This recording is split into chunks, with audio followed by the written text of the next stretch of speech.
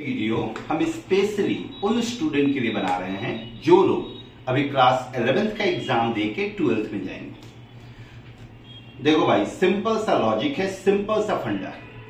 मेहनत करोगे तो अच्छा करोगे, खाली सोचने से अच्छा नहीं करोगे। बहुत सारा स्टूडेंट खाली सपना देखता है कि हमको जेई करना है जेई में एग्ज़ाम देंगे, मेंस का एग्ज़ाम देंगे, पहला बार में ही 99 परसेंट आएँगे लेकिन मेहनत के नाम पे ज़ीरो। सोचने से काम नहीं चलता। अब मेहनत करो। एक साल बीत चुका है तुम्हारा। देख चुके हो। कितना मेहनत किए हो, कितना कुछ किए हो, खुद से एक बार अपने आप को जज करो।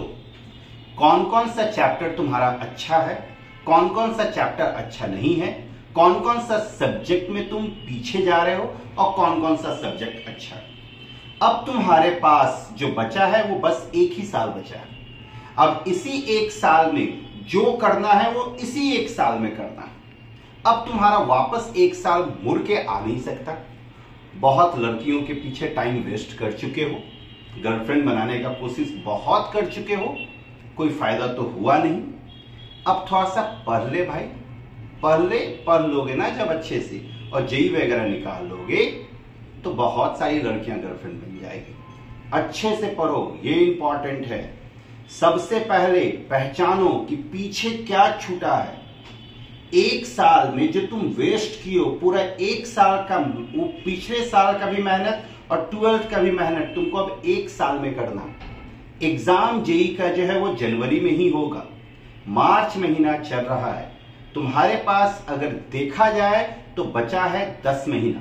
अब इसी दस महीने में पूरा इलेवेंथ को कवर करना है, पूरा ट्वेल्थ को कवर करना है। और इलेवेंथ का सिलेबस कितना वास्ट है, ये चीज़ तुम लोग देख चुके हो। तो अब सही से प्रॉपर तरीके से प्लानिंग करो कि किस तरह से प्लान किया जाए कि एलेवेंथ भी प्रॉपर हो जाए पूरा, और जो ट्वेल्थ चल रहा है, जो ट्वेल्थ में अब पढ़ाई होगा, चाहे ट्यूशन में हो या स्कूल में हो उसको हम कैसे मेंटेन रखें और अच्छे अच्छे सवाल को कैसे बनाएँ? प्रॉपर समय आ गया है पढ़ाई को टाइम देने का। 10 घंटा क्वालिटी ऑफ़ टाइम दे। याद रखे क्वांटिटी नहीं quality of time quality of time कहने का मतलब हो गया कि अगर आठ घंटा पढ़ रहे हैं तो प्रॉपर आठ घंटा आपका पढ़ाई होना चाहिए। ये नहीं कि आठ घंटा पढ़ाई कर रहे हैं, जिसमें तीन घंटा आप व्हाट्सएप खोल के किसी से गप करते हुए पढ़ रहे हैं, या क्रिकेट मैच देखते हुए पढ़ रहे हैं, या विराट कोहली का सेंचुरी देखते हुए पढ़ रहे हैं। बिल्कुल भी नहीं भाई।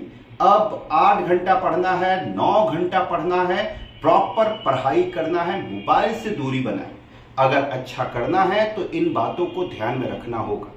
जेई एग्जामिनेशन तुम लोगों को पता है कि इंडिया का सबसे टफेस्ट एग्जामिनेशन में से एक होता सबसे टफेस्ट एग्ज़ाम को अगर निकालना है तो तुमको सबसे टफ बनना पड़ेगा। याद रखो टफ एग्ज़ाम को निकालने के लिए तुमको अपने आप को टफ बनाना पड़ेगा।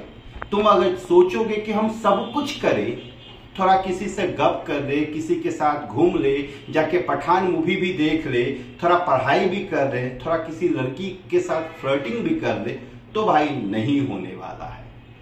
तुमको सब कुछ से अपना, अपने चीज़ों को हटाना पड़ेगा माइंड को डाइवर्ट करके सब कुछ को पढ़ाई में फोकस करना पड़ेगा अपने माइंड को। अगर एक साल अच्छे से मेहनत कर लेते हो, आठ से दस घंटा प्रॉपर पढ़ाई कर लेते हो दिमाग में अगर पीसीएम आना शुरू हो जाता है, सपने में, तब समझ लो कि तुम सही जा रहे हो। अगर पीसीएम तुम्हारे दिमाग में नहीं चलता है तो फिर तुम समझो कि सही तुम नहीं जा रहे जिस दिन तुम्हारे सपने में क्वेश्चंस आना शुरू हो जाए, जिस दिन तुम चलते चलते दिमाग में क्वेश्चन सॉल्व करना शुरू कर दो, तुम उसी दिन समझ लेना कि तुम जेई के लिए परफेक्ट कैंडिडेट बनते जा रहे हो। अदरवाइज़ भैया, कुछ ना होने वाला है। अगर नहीं कर सकते हो तो फिर मस्ती में लाइफ को जियो। क्लियर कट बता रहे अगर इतना आठ घंटा, दस घंटा नहीं दे सकते हो तो मस्ती में लाइफ जियो। जाओ मस्त पठान देखो। अभी इंडिया का मैच चल रहा मैच देखो, फिर आईपीएल शुरू होगा। आईपीएल का इंटरटेनमेंट उठाओ, मस्त इंजॉय करो और लाइफ को इंजॉय करो। और अगर पढ़ना है तो पढ़ो। एक चीज़ को अच्छे से चूज़ कर ले भाई। ये तुम लोगों के लिए कहा जा रहा है। करोगे तो बहुत बेनिफिटेड रहोगे, नहीं करोगे तो लाइफ इंजॉय करोगे। That's it thank you very much